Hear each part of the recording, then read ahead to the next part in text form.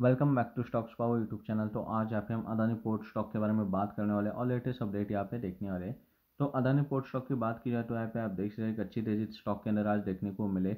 एक अच्छी रिकवरी 805.85 पे ट्रेडिंग करा है अदानी पोर्ट स्टॉक क्योंकि यहाँ पे देख सकते कि आज जो है, यहाँ पे 19 पॉइंट अप देखने को मिले। मूवमेंट टू परसेंटेज से ज़्यादा तेज़ी देखने को मिले अदानी पोर्ट में।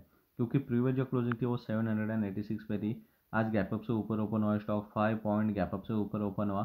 जैसे ओपन हुआ स्टॉक देख सकते कि सेवन नाइन्टी का सपोर्ट लिया।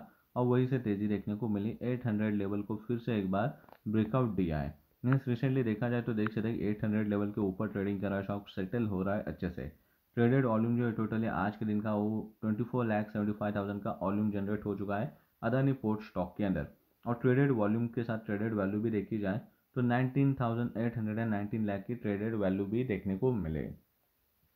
तो देख सकते हैं कि बैंक के लिए जो है three lakh sixty eight thousand quantity pending है तो सेलिंग के लिए four lakh eighty six thousand means bank quantity से ज़्यादा जो है सेलिंग क्वांटिटी दिखाई दे रही है क्योंकि सेलिंग क्वांटिटी रिसेंटली देख सकते हैं कि बढ़ते हुए ऊपर जा रहे हैं ऊपर के साइड बढ़ रहे हैं।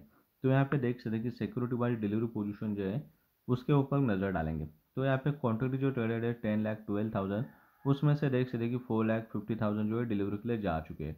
Means forty four percentage quantity जो है नेक्स्ट डे होल्डिंग के लिए जा चुके हैं यहाँ पे अदानी पोर्ट के अंदर।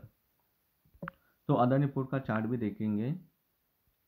तो अदानी पोर्ट का चार्ट देखा जाए तो लास्ट मंथ में गिरावट देखने को मिली थी, पर इस वीक के स्टार्टिंग में थोड़ी सी वीक मूवमेंट और बेरिश मूवमेंट देखने को मिली। पर रिसेंटली जो ब्लू कलर का मूविंग लाइन है, वो है टू हंड्रेड मूविंग एवरेज जिसका यहाँ पे सपोर्ट लिया स्टॉक ने कल के दिन और देख सकते फिर से बाउंस बैक हो चुका है। तो अगला जो रजिस्ट्रेशन 800 के ऊपर सेटल होता है तो 830 लेवल का लग सकता है, जो कि स्टार्ट ऑफ़ द मंथ में लगा था। तो ये थे latest update Adani port stock के लिए।